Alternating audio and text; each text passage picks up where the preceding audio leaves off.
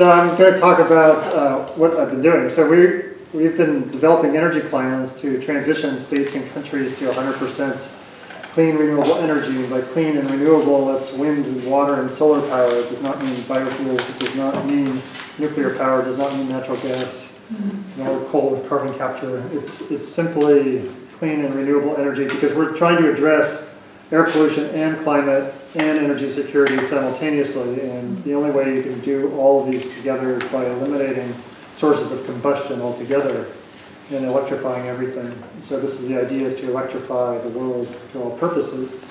So all purposes means electricity, transportation, heating and cooling, industry, agriculture, forestry, fishing.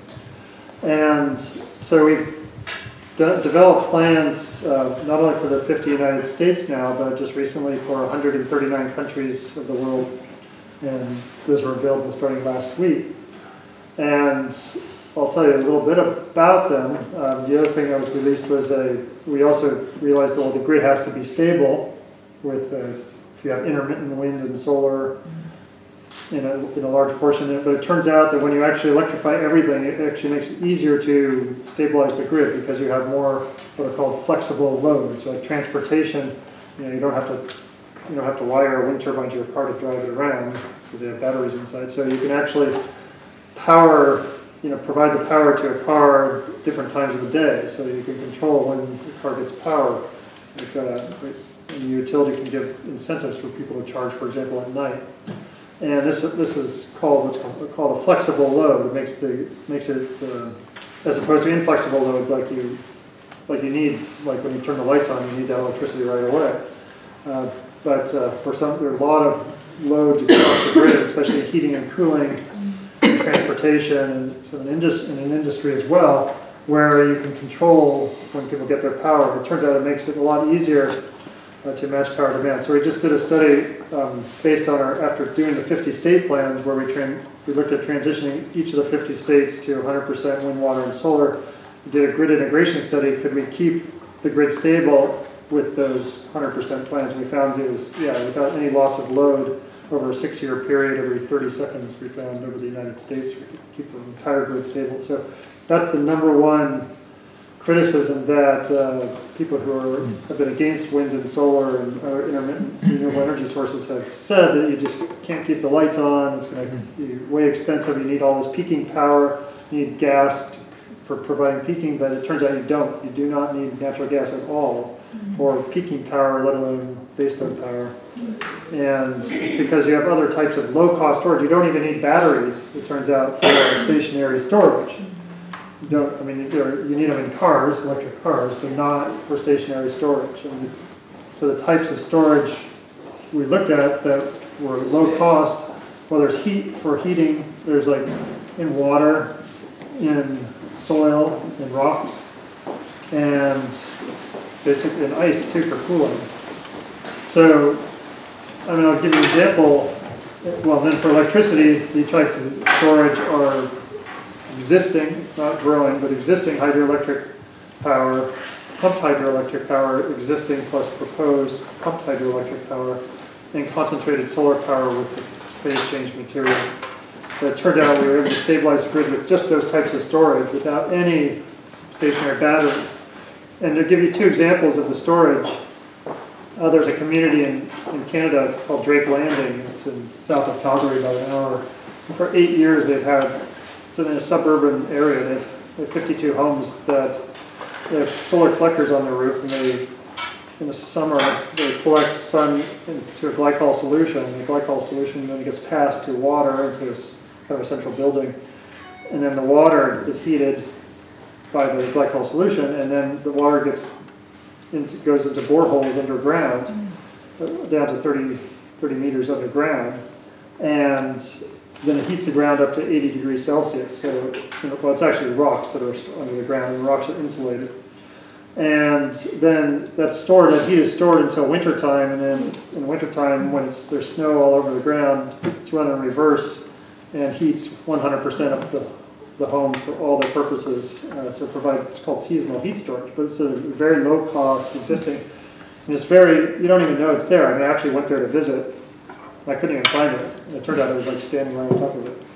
Because it was, in a park, it was a, right, it a neighborhood park, and it was just a grassy field, and underneath the grass, underneath the field, there were rocks, there were hot rocks, that were storing the heat.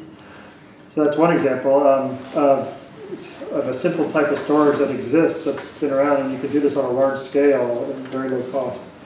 Uh, second example is uh, until like a couple weeks ago, I've had uh, outside my building where I work, at Stanford University, there was a natural gas cogen plant that provided electricity and heat for provided 80% of the uh, heat and electricity for the campus and providing 80% of carbon emissions.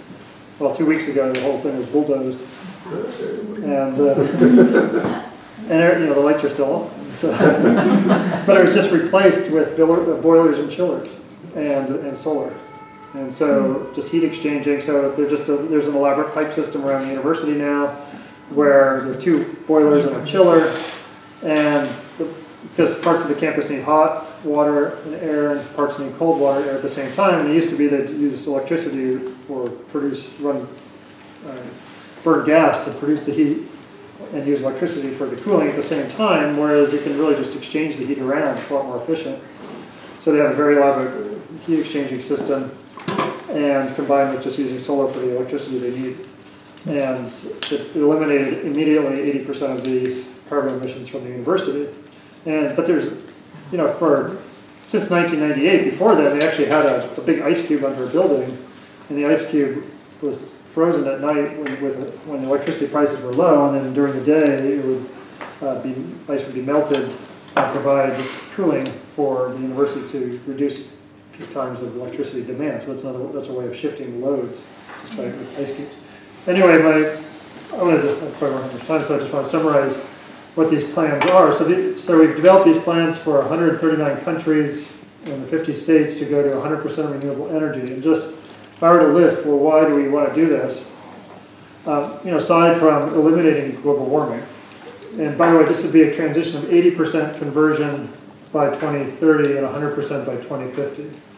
And so we've actually done computer, because actually my main work, this is my night job, my main work is, is computer modeling. I build climate models to simulate climate, air pollution, and weather. And you know, probably the biggest thing I've ever found was that black carbon was the second leading cause of global warming after carbon dioxide. So that was, so I look a lot on the effects on particles on climate. And you know, one way to actually address global warming climate change is to control selective pollutants. I mean, like black carbon, because it has it's like a million times more powerful per unit mass than carbon dioxide, but there's a lot less of it in the atmosphere, and it's much shorter lifetime, only a few weeks.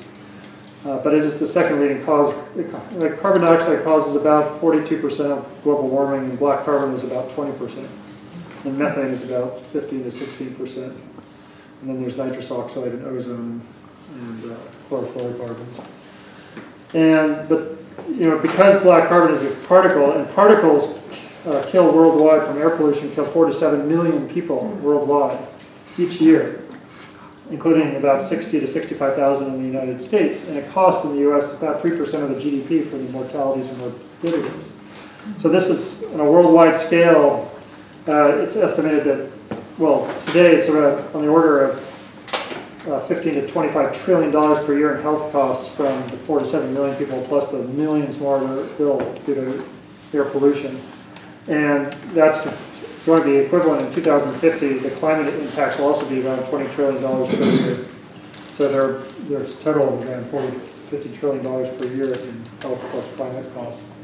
But we'd eliminate those costs. But uh, my point about the black carbon was one way, the only way you can actually save the Arctic ice because is by eliminating black carbon emission. Because if we stop CO2 today, which we have to do to stop catastrophic warming, still not going to save the ice, but black carbon, because of its short lifetime and its strong impacts on climate, uh, you can, and you also reduce health problems uh, simultaneously, so there's a double benefit. But that's so you can do that kind of accounting, but the key is you have to eliminate all combustion, so that means eliminating all sources of not only black carbon and carbon dioxide, but also there are also cooling particles, air pollution particles that mask half of global warming that's occurring. So even though greenhouse gases plus black carbon cause this much warming. The net observed warming is this. And the difference is air pollution particles that cause cooling, such as sulfates and nitrates, they mask or offset half of global warming. And so if you actually just cleaned up air pollution particles, you'd actually see a rise in the observed warming, which is pretty scary. So you want to clean up the particles because they cause 90% of the health problems due to air pollution. But doing that will double global warming actually, immediately. And this is a scary problem. So the, the only solution is to eliminate all the particles and the greenhouse gases simultaneously. That's what our plans try to do. So they would eliminate four to seven million deaths per year immediately. And worldwide, well, immediately based on the timescale of, of the plans.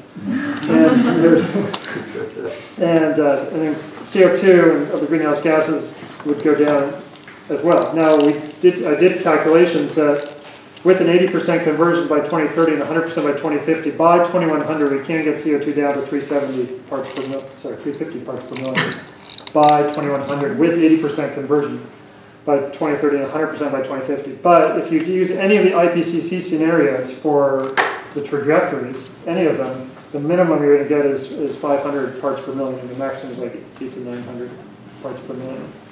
So the nice thing, good news is, is if we can aggressively eliminate 80% by 2030 and 100% by 2050, we can actually reduce CO2 to normal levels and slow down the um, warming. But just to summarize, the last thing I'm saying, to summarize the benefits of all this, besides eliminating all these deaths, eliminating global warming as we know it, we stabilize energy prices because there's zero fuel cost to, to wind, water, and solar. Because solar doesn't cost anything, wind doesn't cost anything. It's just the, it's just the installation cost and operation and maintenance cost mm-hmm. over time. You not only stabilize energy prices, but then the actual, the price over time gets lower because you have to continuously mine and refine fossil fuels and transport them, so their prices go up over time, whereas wind, water, solar, they stay relatively constant. But you also, each country will also produce its own energy. There are only a few countries like Singapore that might have to import some uh, energy because they're so small and have a huge population. But almost every country will be self-sufficient. That would eliminate you know, international, or mostly reduce significantly international conflicts over uh, fuels, such as oil and gas, that currently occur, which could also eliminate terrorism risk.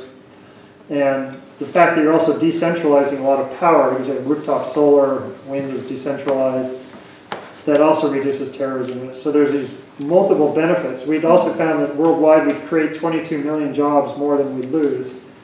And in the US, about 2 million jobs more than we lose. So there's a net jobs benefit, stabilizing prices, secure, more secure future. So it sounds very rosy. So we have to make it happen now. You guys have to make it happen. I'll leave it up to you. All right, thank you. Thank you.